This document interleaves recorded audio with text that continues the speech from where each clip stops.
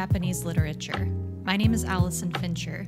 Read Japanese Literature is a podcast about Japanese fiction and some of its best works. All the works we discuss are available in translation, so you can read along if you want, and you can find out more at readjapaneseliterature.com. Thanks for your patience.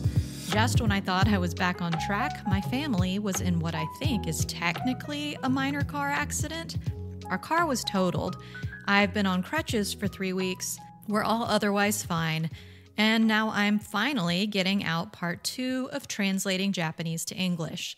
It's appropriate that we're still talking about Minae Mizumura because August is Women in Translation Month. In August 2014, a research biologist and book lover named Meytal Radzinsky launched Women in Translation Month. People all over the world now participate each August on social media using the hashtag WITmonth. If you haven't already listened to part one, I strongly encourage you to start there. This two part series is a look at translation. We're zeroing in on how Minae Mizumura's Shishosetsu from left to right made it from her Japanese manuscript onto our English language bookshelves as an I novel, with a lot of help from translator Juliet Winters Carpenter. But we're also talking a lot about the art and industry of translation in general. In part one, we talked about how a book comes to be translated, how someone comes to be a translator, how a translator gets paired with a book. Today, in part two, we'll look at what translating a book actually involves. Why isn't translation just a process of taking a Japanese word, looking it up in a Japanese English dictionary, and plopping that word back on the page in English? What kinds of choices do translators have to make? How involved are authors in the process? And we'll end with some big theoretical questions that people who care about literature in translation, that's people like me, like you, need to occasionally ask ourselves. Why translate a book at all? And why read a book in translation? To answer these questions, I'll be bringing in the work of a lot of other translators. Many translators are very generous about sharing interviews regarding their work. I'm going to try to credit the interviews in episode. As always, I'll link my sources on the website. I'll also link to the work of the creative artists who bring us English language readers Japanese work in translation. I've also had the opportunity since the last episode to have an email conversation with Juliet Winters Carpenter to clarify a little bit more about her work with Minae Mizumura. I'm excited to share that with you during this episode.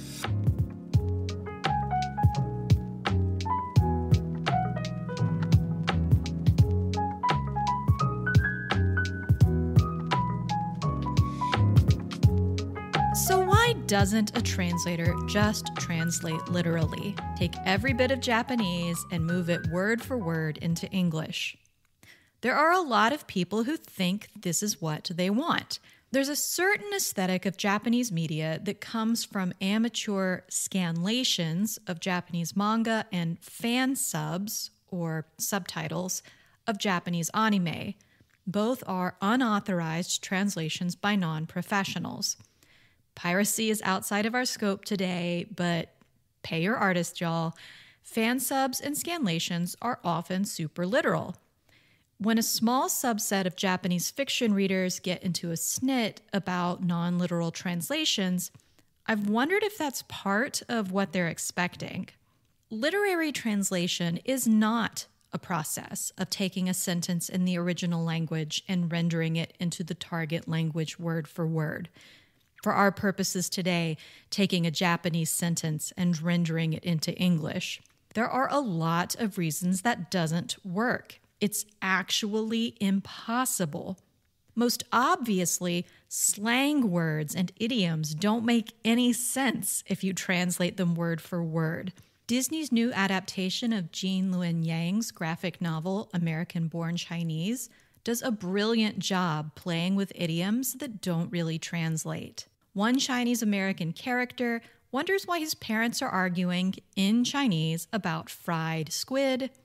A more fluent friend explains fried squid is a Chinese idiom for being fired.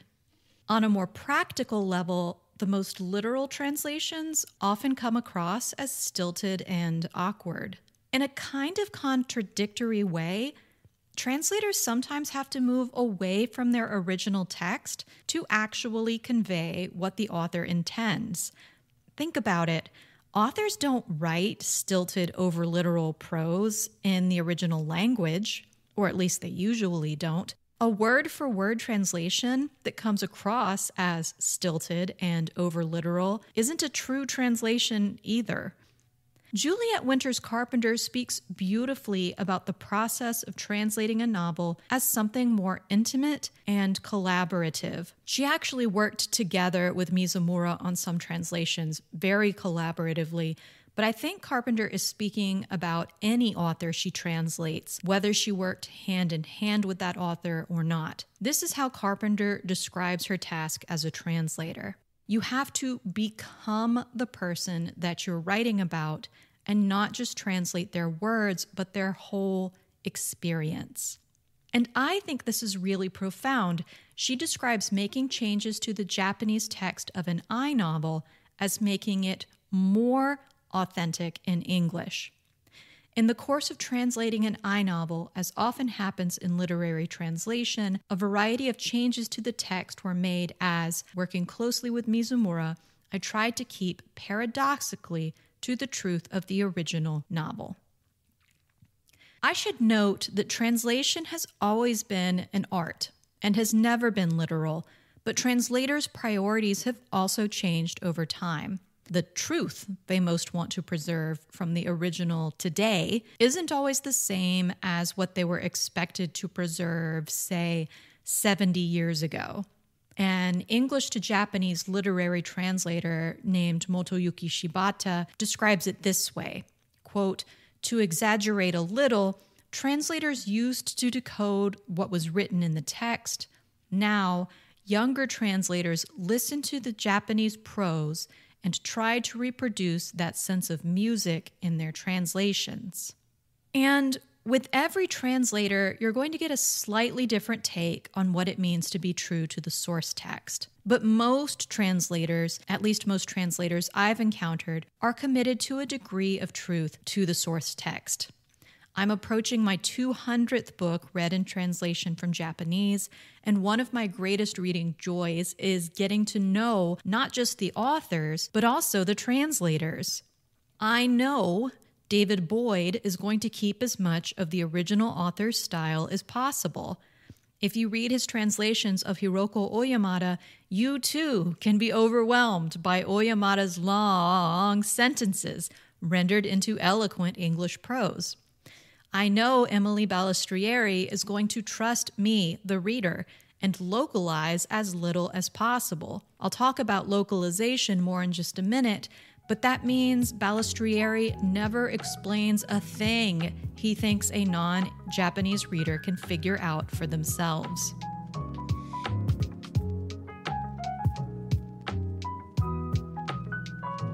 For the next several minutes, I want to talk about the kinds of choices translators have to make when they take a Japanese language book and translate it into English. Some of these choices are specific to the Japanese language, Others are choices that virtually all translators have to face.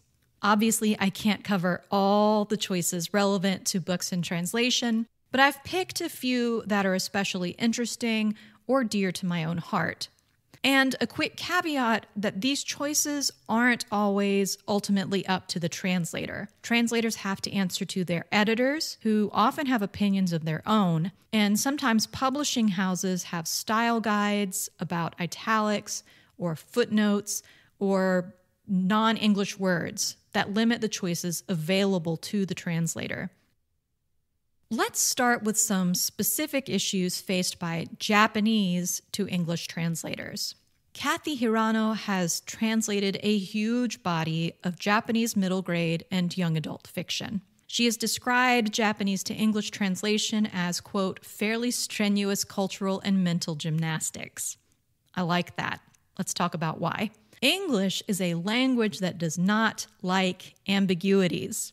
We don't like incomplete sentences. Our sentences always go in the same order subject, verb, and then direct object if the sentence has one. Allison wrote the podcast.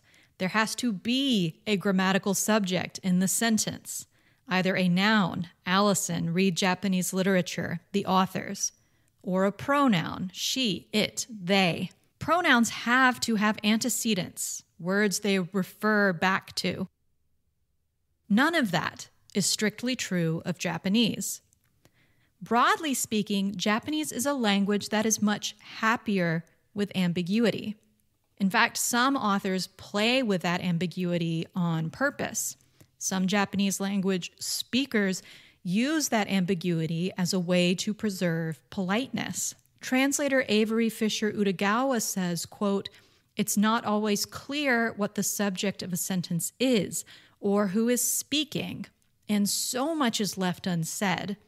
The challenge is to preserve ambiguities where they're crucial without leaving the reader at a loss, to elucidate, to make clear, without over explaining.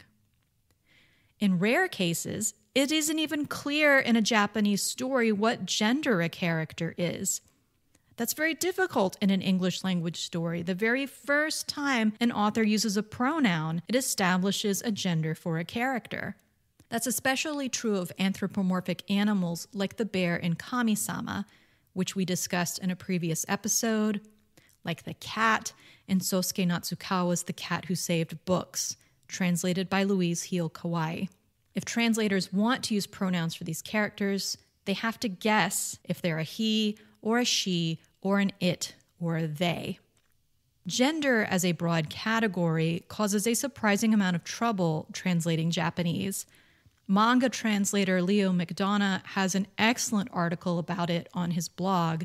There's a link on the episode page. In Japanese, the way people speak can be more obviously gendered. For example, men tend to use even different first person pronouns, different I's than women. Men tend to speak more bluntly. When they speak in a more soft or traditionally feminine way, it's usually for a reason. How is a translator supposed to convey all of that? Then there's, of course, the issue of honorifics the san or the chan or the sensei the Japanese people place at the end of a person's name out of respect. They convey important information, but is that information important enough to be necessary in English? Sometimes translators render san as Mr. or Mrs. That can get awkward and imply a degree of formality that isn't intended. Sometimes translators just leave it at san. That can end up with an Orientalist feeling making a book feel a lot more foreign than it needs to. Japanese also has words like obasan or oba-san, auntie or grandma. Except in very specific parts of the English speaking world, we don't classify unrelated adults by their age group. Japanese does.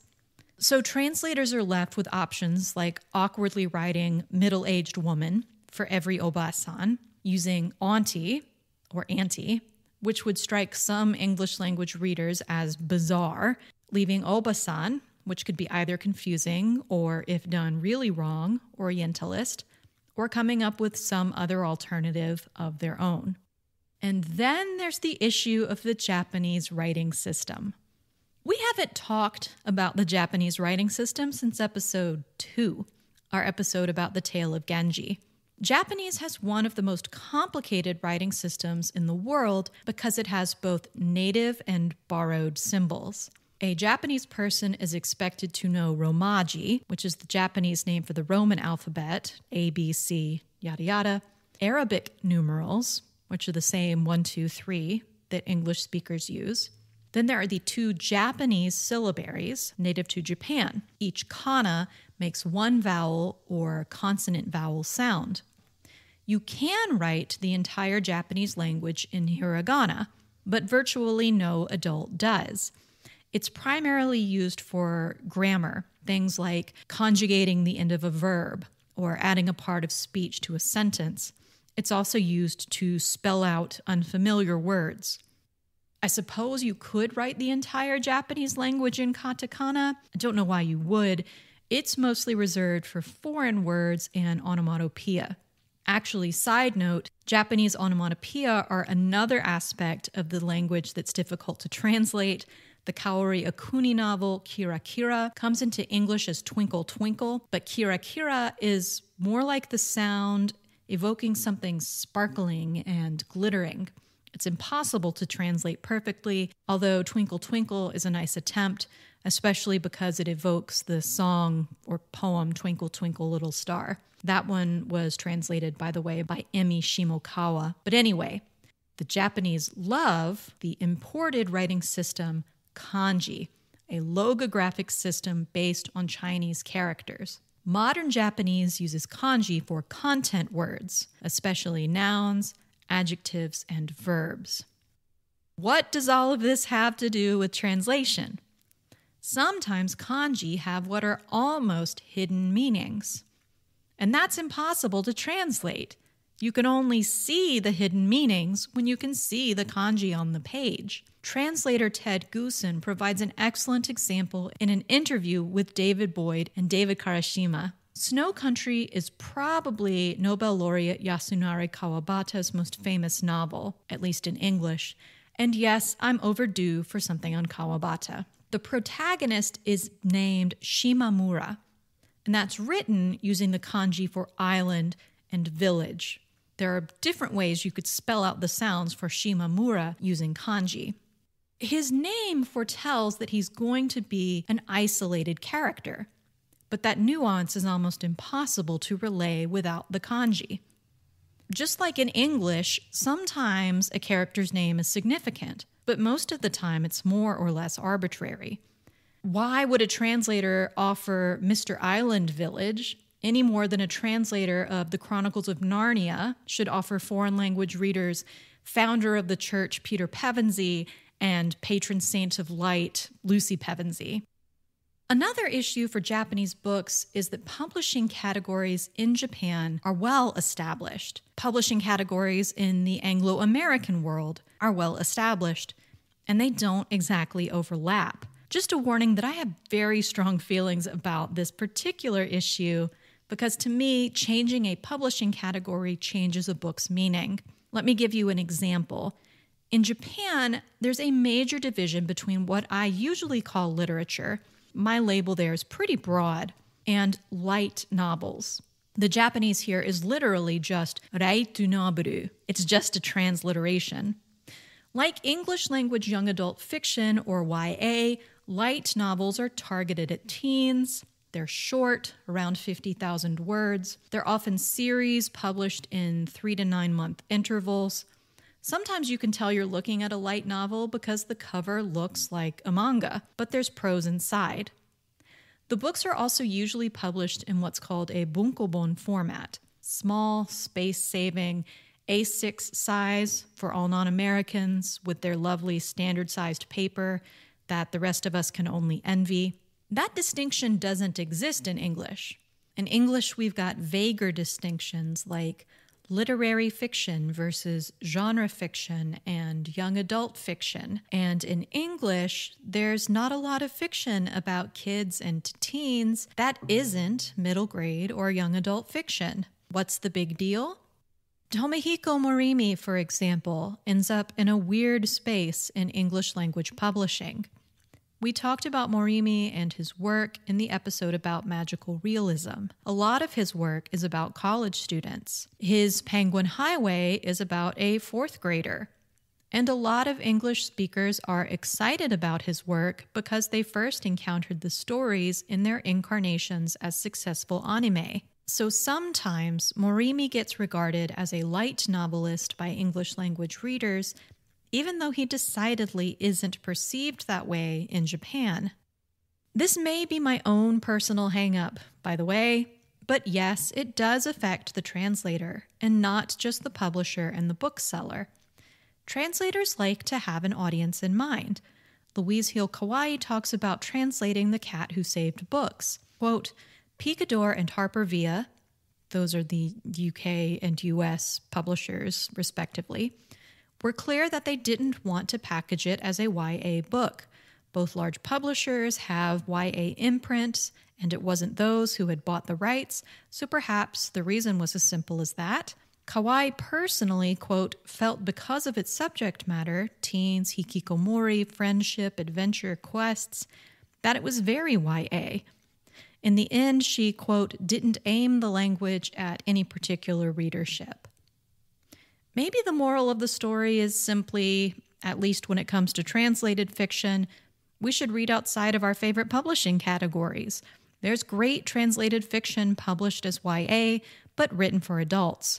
There's a lot of great middle grade fiction out there too. Check out anything translated by Avery Fischer Udagawa. Sachiko Kashiwaba's The House of the Lost on the Cape is a piece of Fukushima fiction coming out this fall. I finished it while I was recovering from the car accident. It's stunning, highly recommended.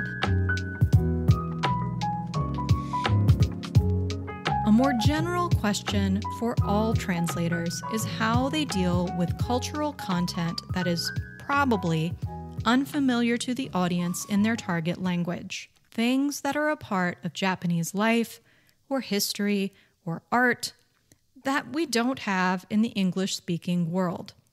Especially in the manga or anime worlds, this process of adapting a text to an audience in a new setting is referred to as localization. That's really a process that applies in general. Let's start with a striking example of a translator thinking about this process that I found in an interview David Boyd and David Karashima did with Lucy North. These are all translators.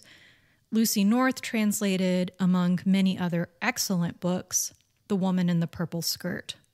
North talks about a cream bun that a character eats in the novel's opening pages. I want to summarize the amount of thought that went into her translation of this two word noun. I highly recommend, though, that you go and read the interview for yourself. There's a link on the episode page. The noun in Japanese is kuriimu, or cream, pan, bread, from the Portuguese. So it's already a linguistically complicated word because it's a borrowed word from two different languages imported into Japanese. Let me read out a little of North's thought process. If I used the Japanese word, should I italicize it? In part one, we talked about the complexities of italicization. Would kuri mupan work? Some readers would not make the connection between pan and bread in a Japanese context. Then I realized I didn't know what kuri mupan was. I didn't think I'd ever seen one of these. What were they? Rolls, buns, puffs, pasties. So North then did a lot of research about what kurimupan was. Turns out it isn't really a cream bun because it's filled with cream before it's baked. Technically, the cream is cooked and therefore a custard. And then North found out that the publisher's house style limited her choices. She had to italicize foreign words like kurimupan she couldn't use the special macrons over Japanese letter sounds. I don't use them on my website either, but they're lines over long vowel sounds to make it easier to pronounce Japanese correctly if you know how to read them. North goes on to explain in the end, bearing in mind the exigencies of house style, she went for cream bun, but with what she calls residual anxiety. And then she quote, added a stealth gloss to make sure that the reader would understand that the cream in the cream bun was not cream, but custard. I'm going to explain what a stealth gloss is in just a minute. You might be able to guess right now. But I just want to emphasize that this process North outlined isn't unusual. Translators put a lot of thought into their work. Their personal hangups are all different, but a good translator is really doing their best to present the reader with a new version of the book that is both beautiful and true. So, what techniques are available to translators to deal with unfamiliar cultural content? Some translators will simply choose a more familiar alternative. I say simply, it's not that easy. It's what Lucy North did with Cream Bun. This technique isn't bad or lazy. Often translators use this technique when they want their end result to be a text that creates the same experience for an English language reader. Even if the English language reader won't be reading the literal words a Japanese reader would encounter. So they're trying to give readers the most authentic experience of reading the book.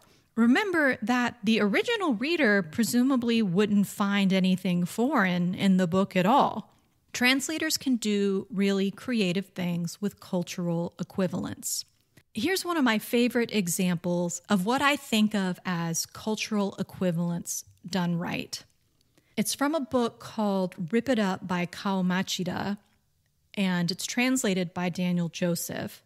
The protagonist sings a bizarre mashup at a karaoke bar, and this is how Daniel Joseph renders it. It's not unusual to Heide, Heide, Heidi. You're as chaste as ice, and baby, we were born to none.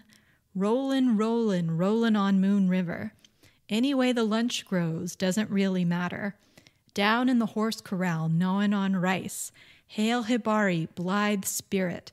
Have you anything to say to me? Do with less, so they'll have enough. Any way the boat rows doesn't really matter. Chicago, Chicago. It's a hell of a paradise for the losers. Power to the people. Give it up, music. Tonight only, there is no remorse. Like the remorse of the philosopher's stone. I offer up my life. Okay, haza makakakakakak. I was blown away. I had a chance to ask Joseph about his translation choices. How like the Japanese original was this? Surely you recognized some of these references. I can see you're as cold as ice, and Baby We Were Born to Run, and Creedence Clearwater Revival, and Frank Sinatra. Joseph explained he, quote, did his best to capture the spirit as well as the general outline of the sources. He said most of what comes out as a recognizable pop song in English was a snippet of an enka song in the Japanese. Modern enka is like a sentimental ballad. Joseph goes on to switch Japanese wartime food propaganda for American. That's where we get the do with less so they'll have enough. He switches a shogi quote for a chess quote, a reference to a Chinese longevity potion to a reference to the philosopher's stone. Ultimately, Joseph says, quote, basically none of the content is literal, just all cultural equivalents, at least to the extent that's possible. Alternative choices. A few translated books use footnotes or endnotes, but that's pretty unusual outside of academic publishing houses. The general consensus is that normal readers don't like notes, and a lot of translators don't want to rely on them anyway. The same goes for translators' explanatory prefaces and afterwards. They're still pretty rare. In some ways, that goes hand in hand with a long running truism of English publishing in translation. English language publishers almost hid the fact that books were translations. That's starting to change. The Name the Translator movement to put translators' names on covers is an effort to make translation a lot more visible. Like Lucy North mentioned, one alternative choice is what's called a stealth gloss. When a translator uses a stealth gloss, they provide the necessary context clues for a reader to easily figure out what a word or idea means without the reader having to look it up. Once you know what you're looking for, you'll start recognizing stealth glosses in translated fiction all the time. I already mentioned Sachiko Kashiwaba's The House of the Lost on the Cape, translated by Avery Fischer Udagawa. Udagawa left a huge number of Japanese words and cultural references and explained them with stealth glosses. The glosses in that book are a little less stealthy than they would be in an adult novel, but this is middle grade fiction. The technique provides a huge amount of information about Japan in general and life in the Tohoku region in particular, and about Japanese folklore, and it's part of what I liked best about the book. Other translators choose to supply actual glossaries. That's another technique that Daniel Joseph used in Machida's Rip It Up. A glossary is an unobtrusive way to give readers access to the information, but to leave it out of the reading experience for people who don't want it. Some translators explain as little as possible. I've already mentioned Emily Balistrieri, who translated The Night is Short Walk On Girl, which we discussed at length in an earlier episode. As I mentioned, his philosophy is to trust the reader. In one interview, he talks about how he'd like to explain even less. He feels like readers, quote, don't usually need to be babied as much as we think they do. And I think that technique works really well for Tomihiko Morimi, whom Balistrieri translates often. Translators face other questions too. We don't have time to take them all up today, but I'll give you a couple of examples. Japanese has levels of formality. You don't talk to your Japanese boss or Japanese professor the same way you talk to your Japanese friends. How do translator convey those differences? What about dialect? This is becoming an increasingly important question today as more and more Japanese authors write in, for example, Osaka Ben, the dialect of Osaka, instead of standard Tokyo Japanese. Let me just mention that Louise Heal Kawai made a fascinating translation of bits from Mieko Kawakami's Breasts and Eggs into her native Mancunian or Manchester dialect. After all, both cities are third largest cities in their island country. Both cities were central to their country's industrial revolutions, and both are still major industrial centers. There's a cultural equivalence. So listen to this. Makiko's my older sister, and Midoriko's her kids, so that makes Midoriko my niece, and me her unmarried auntie. And because it's been nearly 10 years since Makiko broke up with Midoriko's dad, she doesn't remember living with him, and I haven't heard anything about her mom having them meet, so she knows sod all about the bloke. But that's by the by, and we all go by the same name now. You can read the whole delightful thing on Words Without Borders. It's free, and there's a link on the episode page.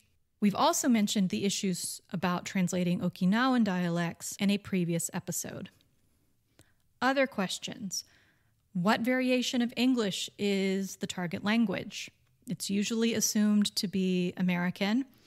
Polly Barton lives in the UK and writes unabashedly British translations. Some readers find that annoying.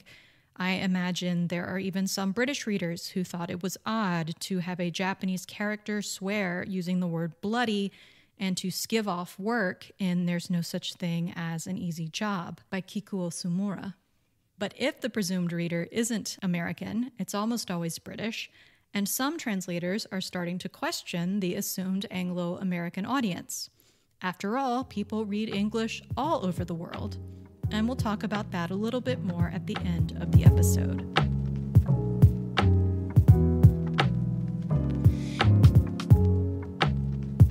Now, there is the subjective question of whether a translator has gone too far making changes to an author's original.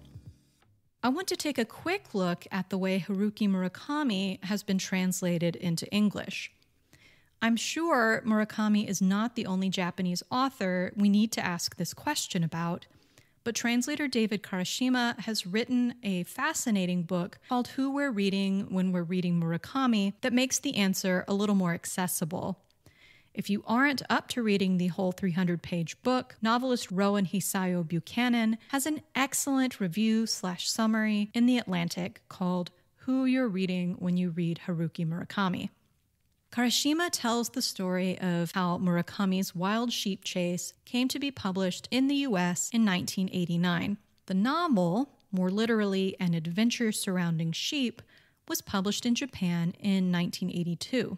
The Japanese publishing house Kodansha wanted to break into the American market.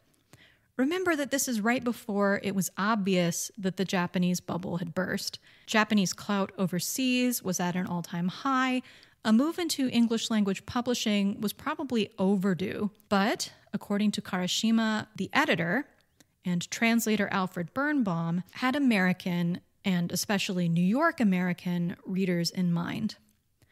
And so they dropped references to the book's original setting in the 1970s, especially because they were very markedly Japanese. They even added a nod to a speech by President Ronald Reagan, who was obviously president during the 1980s. And they changed the title because, as Birnbaum reportedly said, don't you think it's a much better title than the original? It's often difficult to render titles literally. Sometimes the literally rendered titles really don't sound very good, and it's not that uncommon to change a title. Murakami's work continued to receive heavy revisions in translation.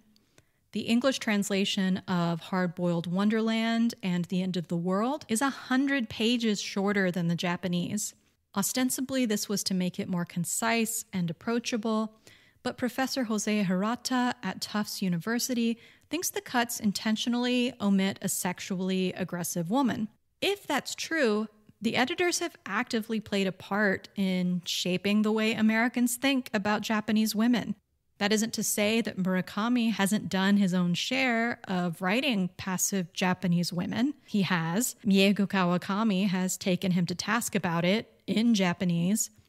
But English language readers also haven't gotten the full picture of what Murakami has written either.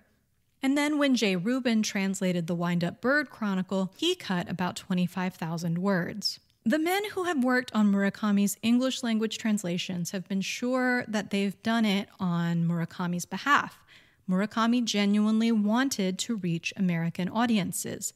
People probably aren't wrong when they say you can tell from the way Murakami writes, the references he's added, that he's writing with translation in mind as a goal. Japanese editors really are more hands off than Anglo American editors. It's not wrong that English language readers might find Murakami's looser, less edited prose tedious.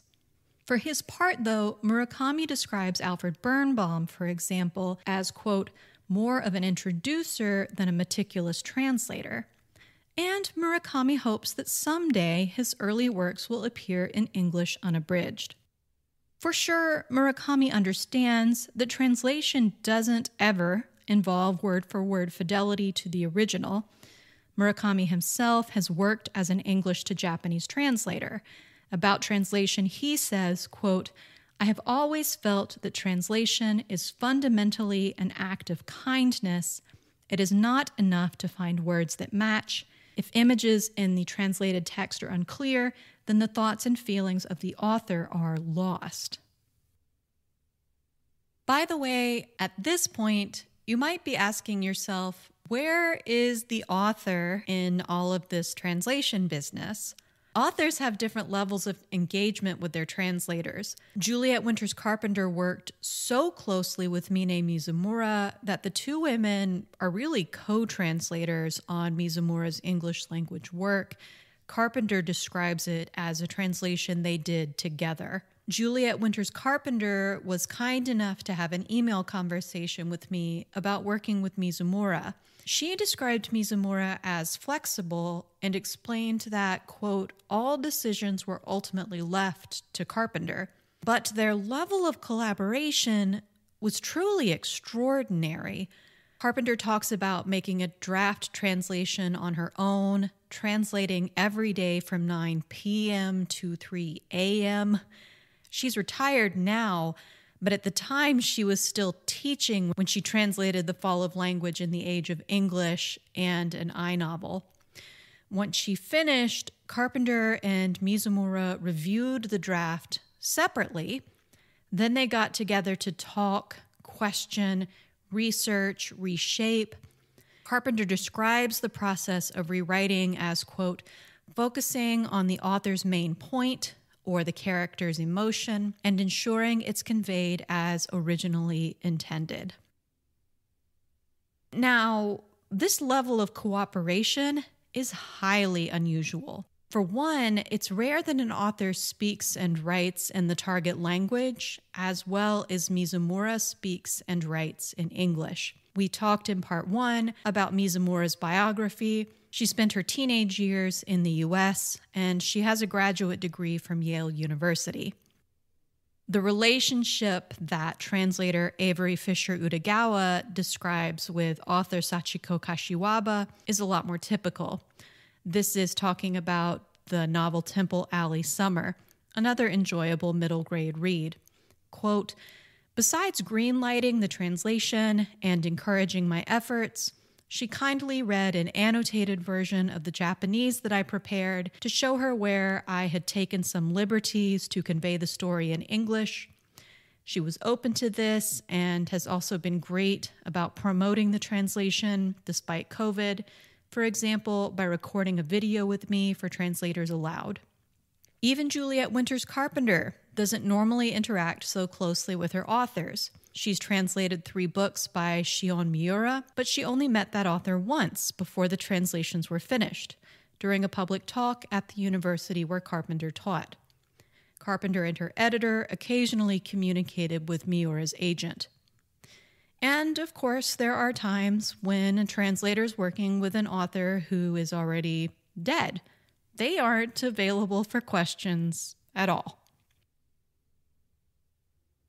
No translation will ever capture the full meaning and import of the original. If that's what you want, you have to learn the original language. Even then, there's some question in my mind whether you'll have the real experience of reading in the original language without growing up in the original culture. Sometimes I wonder if I'm even getting the real experience if I read an American novel written by an author who grew up in and sets a novel in New England. For that matter, we could think of all reading as some form of translation, one person's attempt to make their thoughts and experiences real to someone else. Part of Read Japanese Literature's project is to add context to books in translation to make the experience of reading them richer because of these kinds of cultural disconnects. And so translators occasionally pass around the philosophical quandary is translation possible? And on some very literal level, the answer is actually not really no. This is how Juliet Winters Carpenter explains what she calls, quote, the impossibility of translation. I had always thought that it was possible, but you really hit some walls. There are things that you cannot do. You just have to accept that your translation is not going to ever be the same, that the reader will not get the same effect from reading your translation as the original. It's important to think about what it is you hold in your hand when you read a translation. What can a translation capture? What can't a translation capture? And why is a book worth reading even though something actually is, in fact, lost in translation?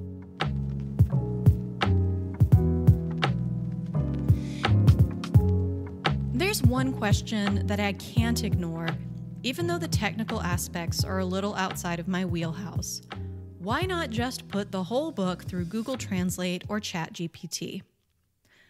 I hope I've made an adequate case that translation is an art and not a science. It's a difficult endeavor, and at the moment, a very human one. Right now, there isn't any artificial intelligence software remotely capable of the work translators are doing. I, for one, wonder why we even want AI to do creative human work. AI can fill out my tax forms. I want people writing my books and doing my translations, but that's really neither here nor there. I do want to mention the looming threat of a really unethical and unfortunate situation it's possible translators are going to end up in a situation where they're paid even less to clean up machine produced first drafts. They could have done a better job translating on a first pass. So, if the opportunity presents itself to you to buy a machine produced translation, I strongly encourage you to consider A, what you'll be getting for your money, and B, whether that's a precedent you really want to help to set. While we're on the topic of ethics, I want to talk about two sets of ideas that English readers don't always have in mind when we approach translation. The first set comes from Minae Mizumura herself. Remember that an I novel is an exploration of the global power of the English language. And according to Mizumura, it's a global power that grows at the expense of every other language. Mizumura explored these ideas more formally in a book translated as The Fall of Language in the Age of English. That book was translated not just by Juliet Winters Carpenter, but also by Mari Yoshihara. Mizumura published The Fall of Language in the Age of English in Japan in 2008.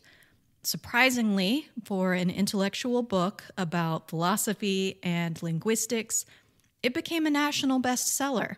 Let me just say that The Fall of English isn't a perfect book.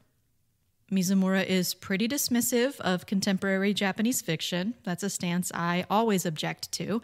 You may have been able to tell in earlier episodes, I get pretty annoyed with Kenzaburo Oe and the way he talks about Banana Yoshimoto, for example. And it's clear that Mizumura's academic background in Western languages is based on French and not English. I have a master's in medieval English literature. Mizumura makes a common, but actually pretty incorrect claim that English language literature begins with Geoffrey Chaucer. It's a huge medievalist pet peeve because that claim is off by several centuries. But the points Mizumura makes are important.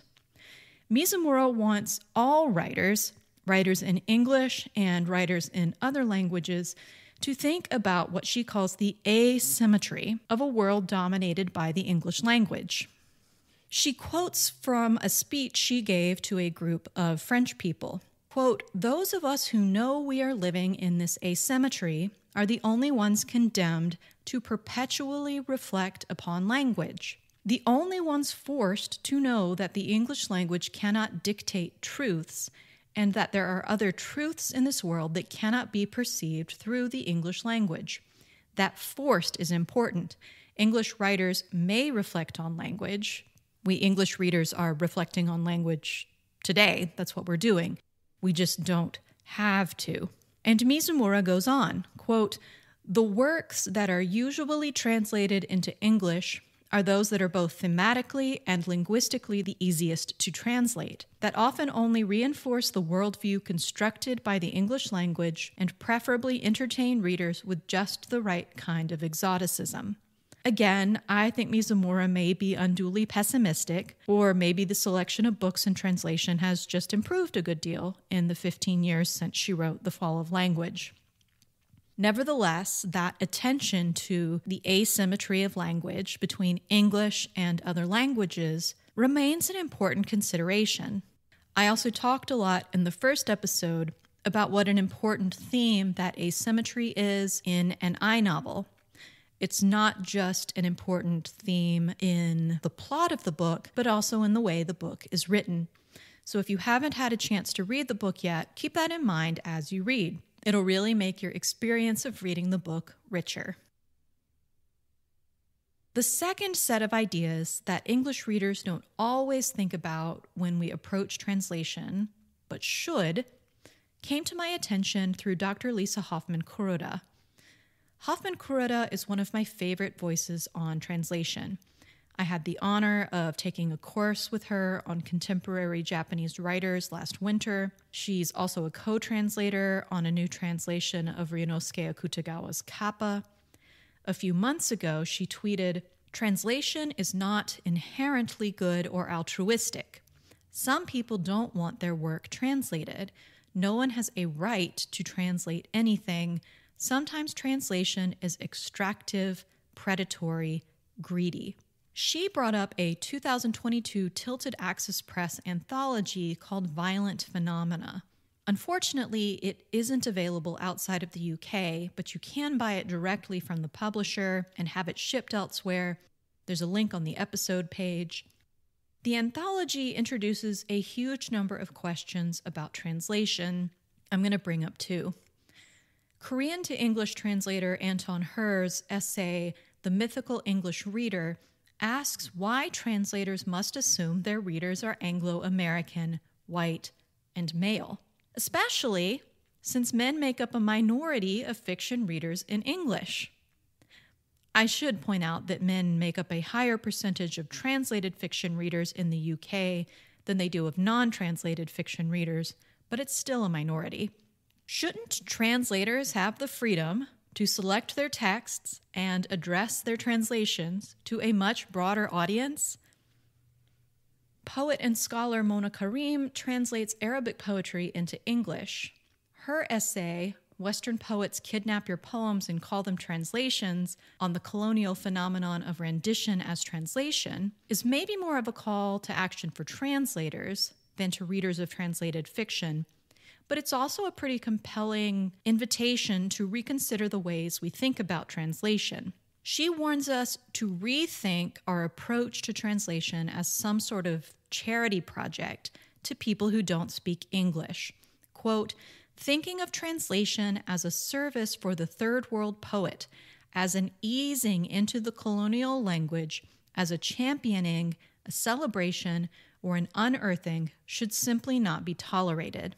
In a talk she later gave to support this essay, she encouraged translators to think about who their translations are supposed to serve, whether their translations are being invasive to another culture whether their translations might cause harm.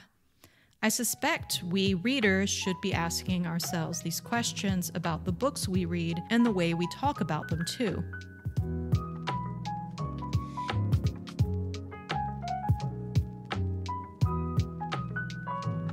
My closing today, I'm going to pose some questions to think about when we read books in translation. Why was this book published in English? Why am I reading this book in translation? What am I missing because I'm reading it in translation?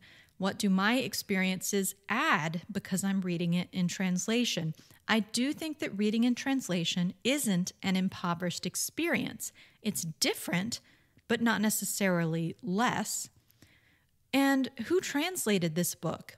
Is their name on the cover? Is there something about this translator's work that makes it special?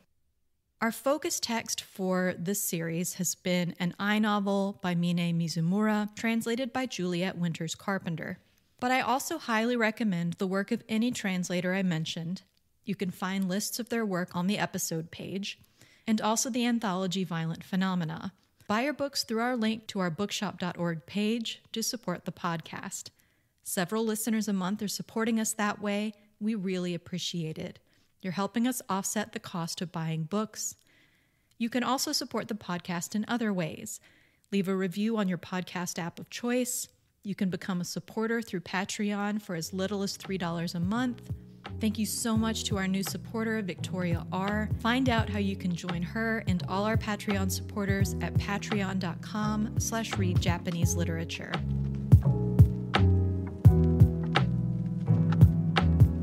We'd love to hear from you about the podcast. There are lots of ways to stay in touch through our website. We're new on Blue Sky at readjapaneselit.bsky.social. As always, we're on YouTube slash at Read Japanese Literature, Twitter at Read Japanese Lit, and Instagram also at Read Japanese Lit. A special thank you to Juliet Winters Carpenter for answering questions by email. Thank you to Lisa Hoffman Kuroda for bringing so many issues in translation to my attention. Thank you to the Society of Children's Book Writers and Illustrators Japan for providing amazing translator interviews on their website, and in general to all the translators who have spent time and effort explaining what their lives and their work are like. And thank you, as always, to producer Kime for today's music at Kime Music and KimeMusic.com.